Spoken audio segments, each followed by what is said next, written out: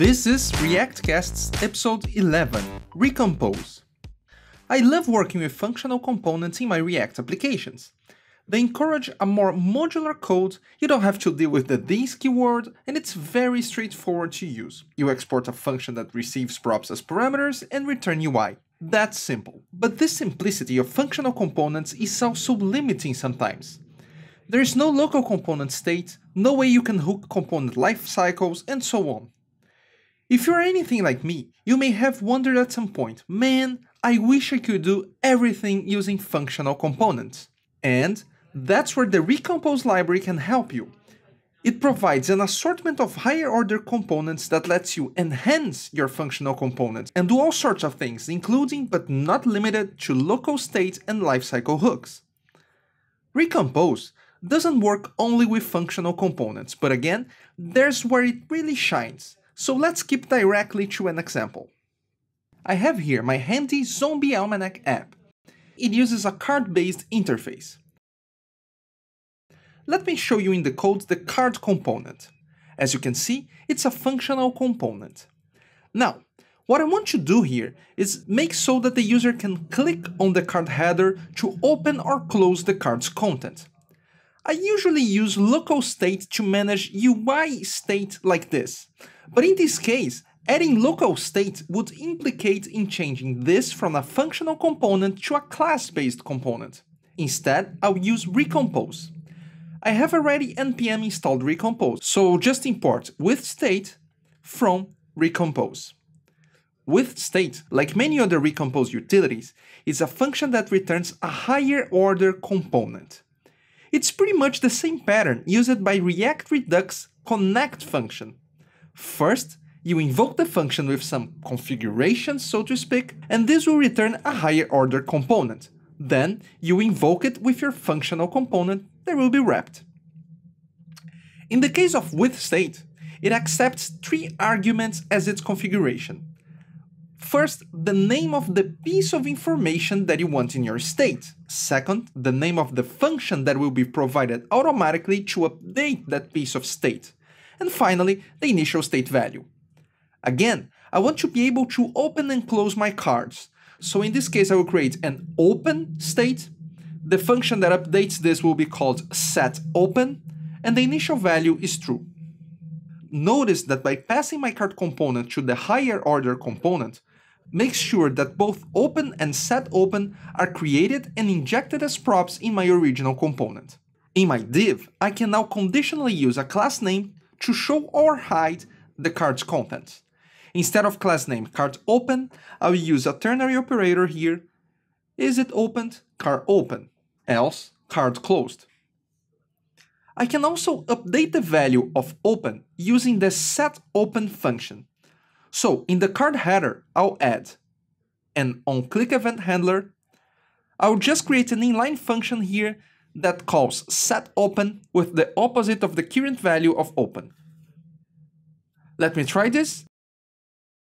Great, I can now toggle my zombie cards. That's very cool. But again, this is just one example of over 20 higher order components available in Recompose. So, shall we try a different one? If I refresh the browser here, you can see that there's a small delay before the cards appear. That's because I'm simulating as if the data came from an external, very slow API. What I want to do next is add a loading indicator. I already have a spinner component, which, well, shows a spinning wheel. And on my app component, I want to do a conditional render. If I have data, I'll show the cards. Otherwise, show the spinning wheel. You know, this is fairly easy to do. I can just add a conditional on my component itself. But in this case, I won't do it this way. I will use the branch higher order component from Recompose. It's not that doing a conditional branching would be difficult without Recompose. It wouldn't, but using Recompose, I can keep my app component small and simple and move away the branching logic outside. So, I'll start by importing spinner from components spinner, as well as import branch and render components from recompose. Next, I'll call branch. I know it returns a higher order component, so I'll go on and invoke it with app. Okay, let's talk about the branch arguments. First, it expects a test function. This function will be used to decide which branch to render. The test function receives the props originally destined to the app component, so check whether props.zombies.length is equal to 0, which means that, well, data is still being fetched. Next, I can specify up to two branches. The first one will be used if the test function returns true. Since my test function returns true if data is still loading, I'll render component spinner. Specifying the second branch is optional. If I don't specify it, it will simply render the wrapped component itself, in my case, the app component here. So let's test. Awesome! While data is being fetched, I have a spinning wheel. Again, I'd like to stress that I could have embedded this branching logic directly in my app component. This wouldn't have been complicated, but by using a higher order component, I kept my app component simple and focused. Back in the beginning of this screencast, I mentioned that I can also use Recompose for lifecycle hooks, so let me show you an example of that. My app component is already receiving a checkAuth function via props. It is supposed to be called when the component mounts to authenticate the user automatically, you know, like the remember me function. So I will import lifecycle from Recompose, okay,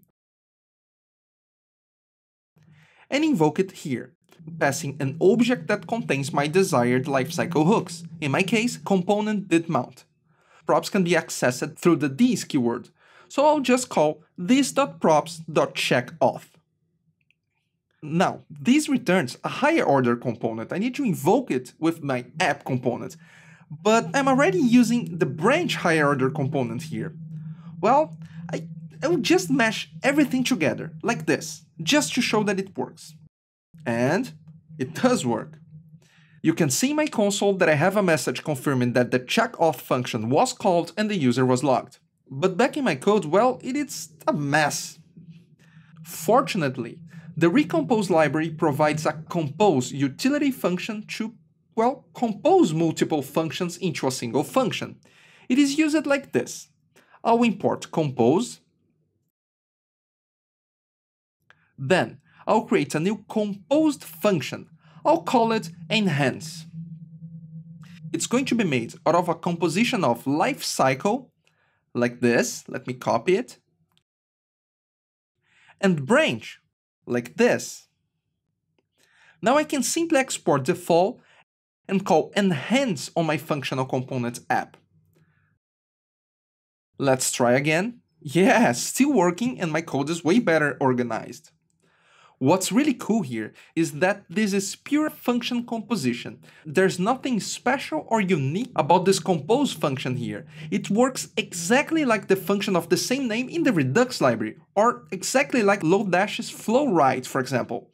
This means, for example, that if this were a Redux application, I could simply add connect to this compose here and it would work perfectly. It also works if you want to compose your own higher order components. Cool. Back on my card component, remember that I'm using with state to control whether the card is opened or closed. With state is providing a setOpen function so I can change the value, and I'm calling it from this onClick event handler using an anonymous function. There's a small problem here. A new anonymous function will be created every time this component re-renders. And while this is not a huge problem right now, it would only become a problem at a bigger scale I'd rather creating a handler function outside the render method and use it.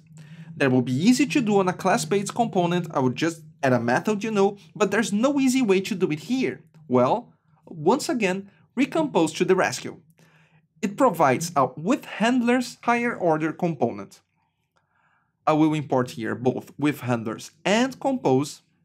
Next, I'll create a constant for my composed functions. I'll call it enhance again. It will contain the original with state. Let me update the export here to use the composed function. And now I will also add with handlers. With handlers, accept an object with any functions that you want to create. These functions must be curried, as they will be called once with the component's own props before being injected in the component itself. Since I want to make a function to handle clicks, I'll first expect props, then the event. And finally, I have the function body. In this case, I want to call props.setOpen with the logical not of the current value of props.open.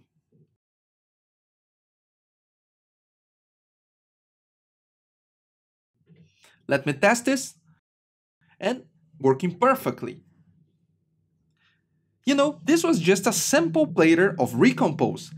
Make sure to visit the documentation for a complete list of all of the available higher order components. You can find the link on the video notes.